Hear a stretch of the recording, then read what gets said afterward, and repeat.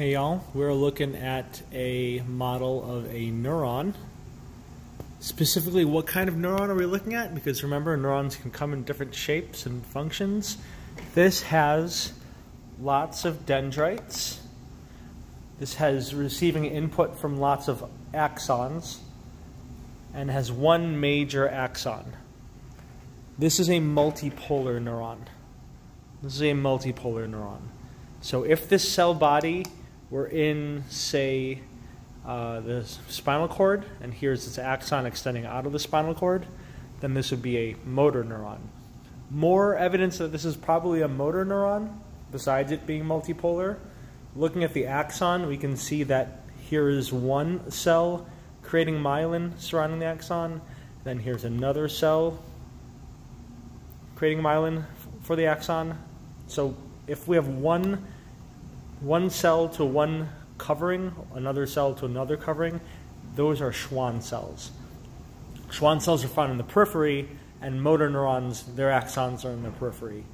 If this were a uh, an interneuron, it would be multipolar like this, but for the myelin, we would see a cell body out here with extensions that then cover up because that's how oligodendrocytes work. These are Schwann cells, so this must be, this axon must be in the periphery. All right, let's take a look at the different features we see around the cell body. So this is representing the cell body. Part of it is shown as clear so that we can see what's inside, but this part is shown as opaque. So it's the same thing. This is the plasma membrane of the neuron cell body. These extensions, whether clear or, or opaque, these are the dendrites. Dendrite, dendrite, dendrite. The purpose of the dendrites is to detect. What are they detecting? They're detecting input from some other source, whether it's a neuron or some other stimulus. So these are axon terminals. They show they look really weird because they're cut off, but these are axon terminals of many different neurons. These weird rubbery things look like messed up Hershey kisses. So these are the axon terminals. These are the dendrites.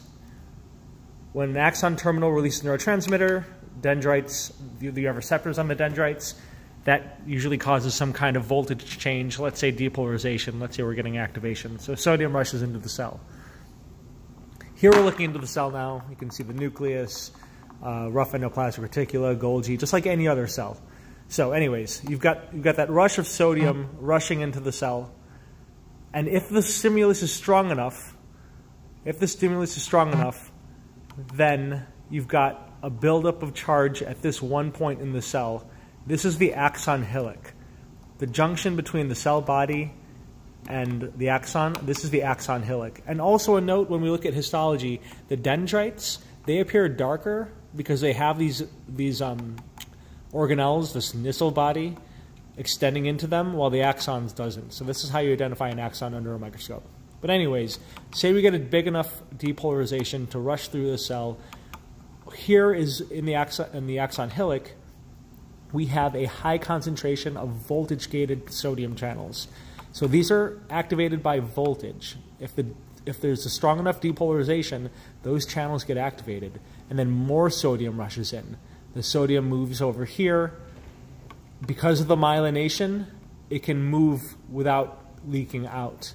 And then here, between the myelin sheaths, we've got more channels, more voltage-gated channels, the nodes of Ranvier.